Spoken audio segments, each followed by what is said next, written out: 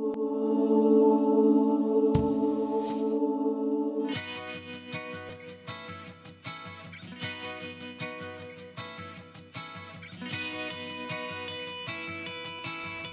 Cordial saludo, mi nombre es Emil Marzulamit Rodríguez Caldera, soy docente del programa de Relaciones Internacionales y Estudios Políticos a distancia de la Universidad Militar Nueva Granada en Colombia. Agradezco la oportunidad a la, Universidad Técnica del Norte por invitarme a participar en el primer Congreso Internacional en el cual pues, se disertará sobre la definición y conceptualización de los términos de seguridad y defensa en los países de UNASUR. En esta oportunidad tendré el honor de hacer mi disertación sobre la definición y conceptualización de seguridad y defensa en la República Bolivariana de Venezuela durante un periodo que he denominado reconstrucción de la polis. Este periodo va de 1998 aproximadamente a 2013. Eh, he hecho la disertación, en función a el enfoque jurídico institucional, también haciendo un trabajo comparativo en lo que sería el periodo del punto fijismo de 1958 a 1998 y el periodo que les he mencionado denominado reconstrucción de la polis. ¿Qué es el punto fijismo? El punto fijismo fue un pacto que se dio entre partidos políticos una vez fue derrocada la, la dictadura del general Marcos Pérez Jiménez en 1958 en Venezuela. A partir de este pacto político, pues los partidos decidieron establecer algunos acuerdos de participación mutua, de repartición en cierta medida del poder, para que no se repitiera la, o no se diera una continuidad a un régimen eh, dictatorial. En ese sentido, cada vez que el Congreso estaba bajo el mando de del partido AD, que era el uno de los más fuertes, el Poder Ejecutivo estaba bajo el mando del partido COPEI y viceversa. ¿Qué ocurrió con este, este pacto entre, entre élites, como lo denomina Juan Carlos Rey? Con este pacto entre élites, desde 1958 hasta 1999, hubo un desgaste de las cuestiones políticas, un desgaste eh, relacionado precisamente a esas élites que mantenían el poder, que no permitían la participación política de, todos los, ciudadanos y también pues una, una mm, e, inestabilidad económica que vemos ya a finales de los años 80, principios de los años 90. este pacto estuvo bajo eh, el eje articulador de la Constitución de 1961. Con esta Constitución, los ciudadanos, en este caso eh, los, los congresistas, determinaron cuáles serían las nuevas instituciones de ese Estado venezolano, con la salvedad de que eh, el poder militar debía estar replegado a sus funciones netamente de seguridad y defensa, dejando así de lado una participación política de estos funcionarios, evitando que se tomaran nuevamente el poder, evitando un régimen dictatorial de orden militar. Eh, en este contexto, efectivamente, pues hubo una transformación del Estado venezolano en el cual se deseaba consolidar el sistema democrático. Para ello, pues las instituciones eh, estaban regidas bajo la división de poderes, los poderes tradicionales que conocemos, el ejecutivo, el legislativo y el judicial.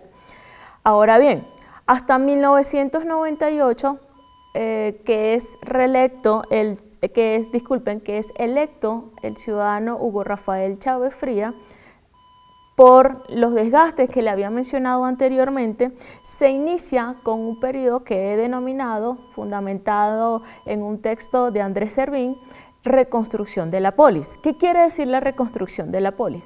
A partir de todo lo que había ocurrido en el periodo de punto fijismo, eh, Chávez, con unas nociones eh, bastante revolucionarias, como él lo mencionaba, empieza a reconstruir el pensar, el sentir, la institucionalidad del Estado venezolano. ¿Y cómo lo hace? Lo hace, una vez más, a través de la promulgación de una constitución nacional, la cual, pues, una vez abordados los procedimientos correspondientes, es adoptada en 1999. En 1999 inicia eh, ya esa construcción de reconstrucción, disculpen, de la polis, la polis venezolana con un nuevo pensar. ¿Y cuál es este nuevo pensar? En función a lo que había ocurrido durante el pacto de punto fijo, ese desgaste, esa exclusión de algunas de alguna parte de la sociedad, pues se piensa en una, en una inclusión, en una integración, en un pensar mucho más humano de lo que sería el Estado venezolano. Pero esa reconstrucción de la polis, además de, crear un nuevo, un nuevo ordenamiento jurídico, también requería de la transformación de las instituciones. Instituciones que obviamente pues estaban bajo eh, el mando, en este caso, por unas coyunturas políticas que se dan en Venezuela, en su gran mayoría estaban bajo el mando del gobierno de turno, es decir, del gobierno de Hugo Rafael Chávez Fría, que también tuvo una transición en cuanto a los partidos políticos eh, por los cuales eh, eh, tuvo participación en esa arena electoral.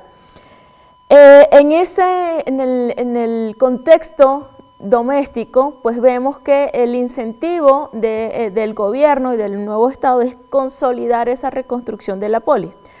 Pero a su vez también tiene un, un incentivo o un fin en cuanto a la integración latinoamericana y caribeña que está manifestada en la Constitución, en el preámbulo de la Constitución, también en el artículo 150, 151, 53 hasta el 54, de cómo sería esa, esa mm, integración latinoamericana. En función a esa integración latinoamericana, pues también hay una transformación de la política interna, pero también una transformación de la política exterior. En términos de seguridad y defensa, pues vamos a ver una variación de lo que sería la política exterior de Venezuela durante el periodo de punto fijismo y la política exterior de Venezuela durante el periodo de reconstrucción de la polis en materia de seguridad y defensa. Acá hay que, apuntar un hecho bastante significativo en cuanto a la participación de las Fuerzas Armadas Nacionales. ¿Por qué? Porque durante este periodo de punto fijismo, como habíamos pasado por regímenes dictatoriales de orden militar, la Constitución de 1961 restringe por completo la participación política de las Fuerzas Armadas dentro de el orden nacional. Es decir, ustedes van a cumplir con su función de seguridad y defensa.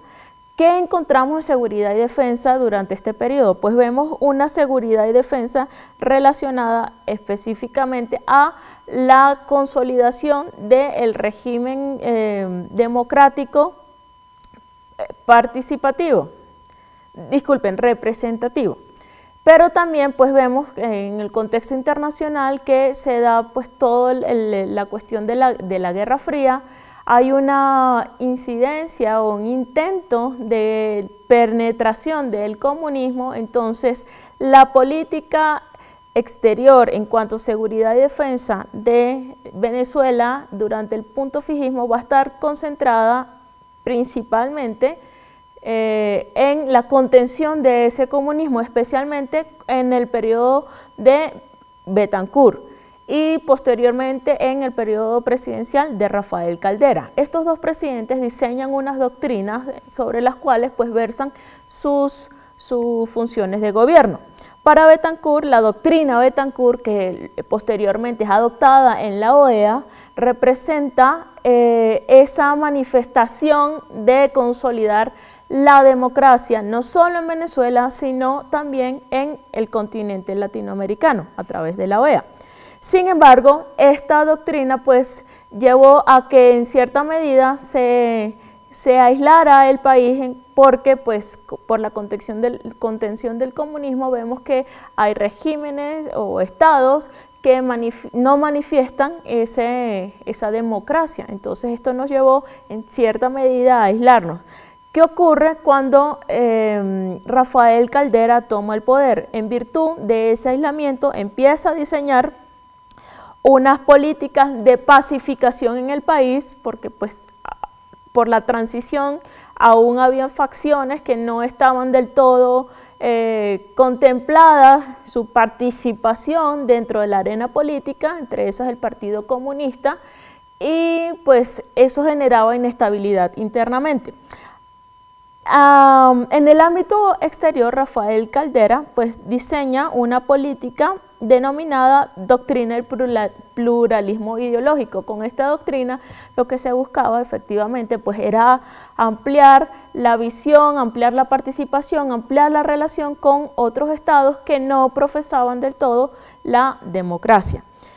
Eh, ¿Qué ocurre eh, al interior del Estado venezolano, en especial en temas de seguridad y defensa? ¿Qué ocurre con estas Fuerzas Armadas? Pues, eh, como les había mencionado anteriormente, las Fuerzas Armadas son replegadas a sus funciones de seguridad y defensa.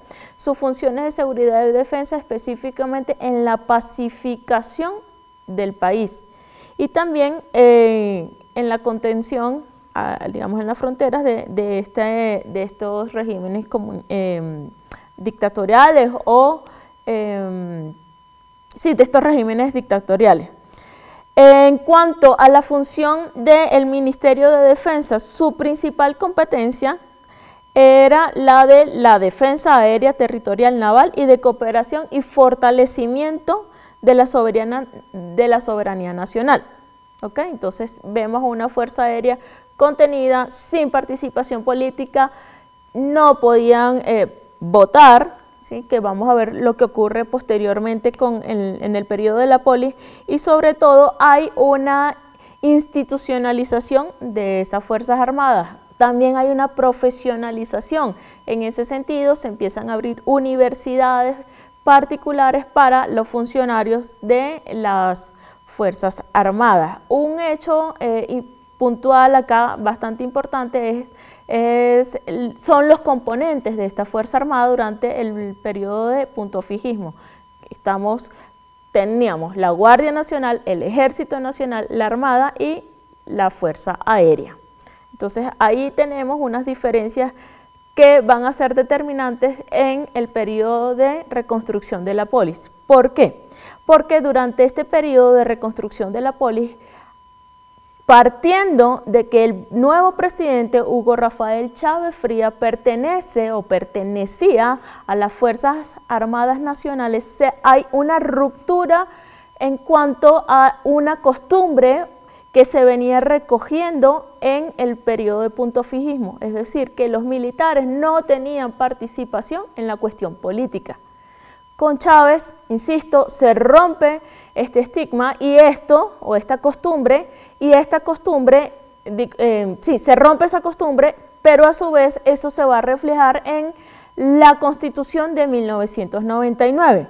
¿Por qué? Porque esa Constitución de 1999, además de venir con un concepto doctrinario fundamentado en las ideas de Bolívar, em, también posteriormente, a mediados de 2002, 2003, 2002-2003, se reconfigura y empieza a tomar otro matiz y ya vemos eh, alrededor de 2006-2007 cómo esa, esa reconfiguración nos va llevando hacia el socialismo del siglo XXI y posteriormente a su afianciamiento en cuanto a la institucionalidad venezolana. Eh, el papel de los militares viene a ser eh, representativo, bastante participativo, al punto que vemos que en las cuestiones de política interna y política exterior hay representantes de las Fuerzas Armadas como embajadores, ministros, jefes de instituciones importantes del Estado venezolano. Algo que hay que apuntar acá es que ese Ministerio de Defensa, durante el periodo del punto fijí, de, disculpen, de la reconstrucción de la polis, es el máximo órgano administrativo en materia de defensa integral de la nación, encargado de la formulación, adopción, seguimiento y evaluación de las políticas, estrategias, planes, programas y proyectos del sector defensa. Cita textual del Ministerio de Defensa en 2012. Pero ¿qué quiere decir esta defensa integral de la, de la nación? Quiere decir que los militares no solo van a estar encargados de sus funciones eh, institucionales, sino que empiezan a involucrarse de mayor, en, mayor forma en cuanto a temas de materia interna.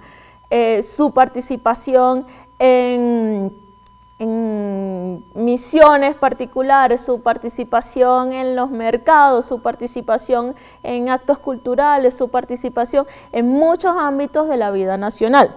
Esto pues empieza una vez más a chocar con lo que ocurría en, mm, en el periodo del punto fijismo en el cual los militares pues estaban replegados a su función de seguridad y defensa. ¿Por qué se integran estos, estos los funcionarios, ¿por qué se integran a, esta, nueva misión? Se integran porque a partir de la Constitución de 1999 se dice que hay una fusión entre lo cívico y lo militar. Y de ahí empezamos a ver cómo a partir de la adopción y las alocuciones del señor presidente se eh, dan unos vínculos mucho más fuertes en las cuestiones políticos, civiles y militares. En ese sentido, en el año 2009, eh, durante la locución a lo presidente teórico número 5 del 23 de julio de 2009, Hugo Chávez manifiesta públicamente cuál será esa nueva doctrina de las Fuerzas Armadas Nacionales Bolivarianas. Tengo que destacar acá que ya pasan de ser Fuerzas Armadas Nacionales a ser Fuerzas Armadas Bolivarianas. Y en, esa locución el presidente eh, expresa, abro comillas, nosotros hemos vivido desde hace más de 10 años fortaleciendo el poder nacional. Ustedes, dirigiéndose a los militares, son estudiosos de este tema. El poder nacional, la sumatoria de todas las regiones y más allá es la gran región, Venezuela. El imperialismo desde siempre se encargó de debilitar el poder nacional. Claro, para ellos ser un superpoder tuvieron que debilitar todos los demás poderes nacionales o regionales. Bolívar lo previó, ustedes lo saben. Lo olió, dijo, allá al norte hay una nación muy grande, muy hostil y capaz de todo. Y después dijo la frase aquella, los Estados Unidos de Norteamérica parecen destinados por la providencia para plegar la América de miseria a hambre y libertad. Él chocó con los yanquis. Bolívar les quitó unos barcos a los gringos. ¿Ustedes saben eso? Es verdad. Solo que en este momento tenemos derecho a defender nuestra dignidad y a defender el proceso de independencia que ahora se ha levantado de nuevo en Venezuela y se ha ramificado. ¿Quién lo niega? No es culpa nuestra a otros pueblos, siempre fue así.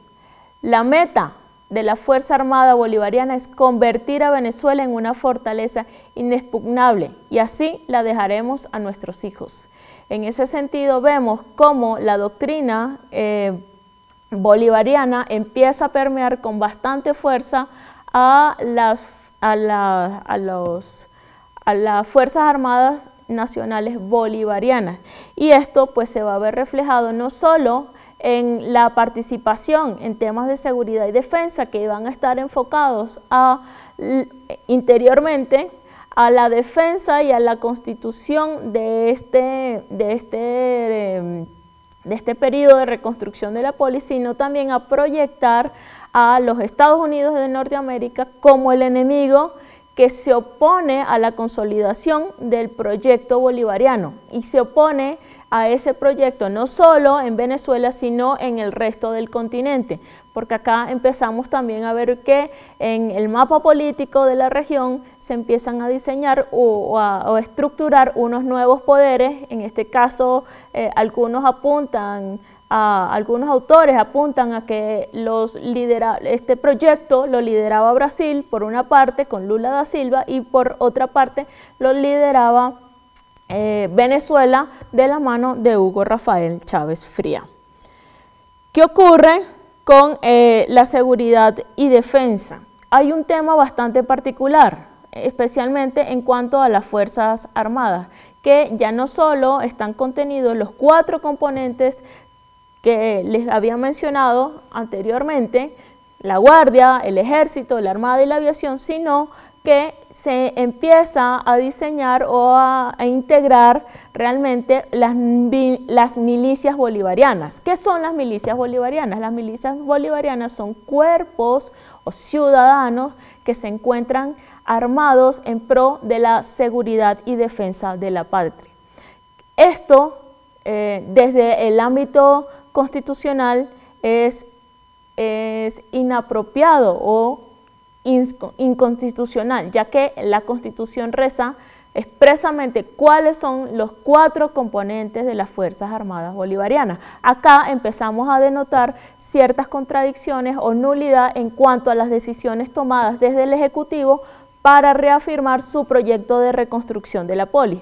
Y esto también pues, va a afectar eh, la, la vinculación o la articulación con países vecinos, en este caso con, con Colombia, que ahora me acoge, eh, empezamos a, ver las pugnas que se dan en cuanto a los proyectos de, a los proyectos de, de liderazgo en la región, pero también a los proyectos de gobierno internos, especialmente esos choques que se daban entre Uribe y Chávez, eh, por el apoyo que, el, apoyo que Uribe manifestaba le daba a las Fuerzas Armadas Revolucionarias de Colombia, así como otros grupos al margen de la ley. En cuanto a, esa seguridad y defensa, también empezamos a ver ciertos elementos contenidos en los planes de la patria. ¿Por qué? Porque inicialmente en el plan eh, Simón Bolívar, que va del 2001 al 2007, la, la seguridad y defensa está orientada específicamente o particularmente a la, a la integridad del ser humano. Vemos un plan de la patria bastante idealista, bastante enfocado a la integralidad del ser humano, a recuperar o a reivindicar ciertos derechos de la población. Sin embargo, a medida pues, que se dan unos hechos internos y también se recrudecen algunas situaciones en el ámbito internacional, Venezuela empieza a radicalizar su posición en cuanto a esta seguridad y defensa. Y ya vemos cómo en el año 2007 se promulga el nuevo Plan de la Patria. En este Plan de la Patria ya se inicia con el socialismo del siglo XXI. Este plan va del 2007 al 2013. Con este plan pues se radicaliza también la postura del presidente Chávez, se radicaliza su discurso, se radicaliza su, su, participación en el ámbito regional y en el ámbito internacional.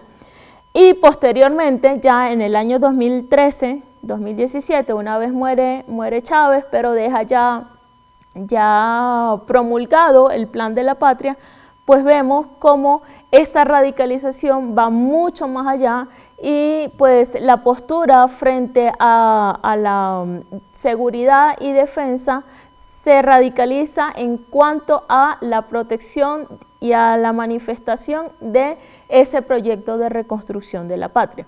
Eh, como ustedes saben, esto es a título personal, en este momento pues estamos viviendo una situación de inestabilidad política, eh, personal, económica, social, cultural, religiosa, en virtud a estas decisiones que se han tomado desde el Ejecutivo, también que se han tomado desde otras instituciones del Estado venezolano y que han, han permeado eh, no solo a, las condiciones humanas de los ciudadanos venezolanos, sino que ya estamos viendo algunos resultados de estas decisiones en cuanto a las migraciones que se están dando de venezolanos de manera ilegal, porque desean pues garantizar su vida, su seguridad, su, ser.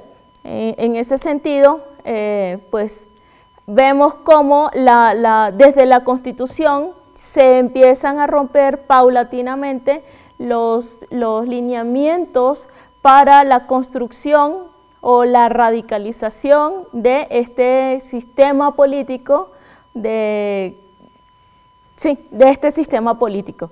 Eh, los invito a hacer un seguimiento a la situación por la cual está pasando Venezuela en este instante. Les invito también a pronunciarse respetuosamente y bajo el marco legal correspondiente. Muchas gracias.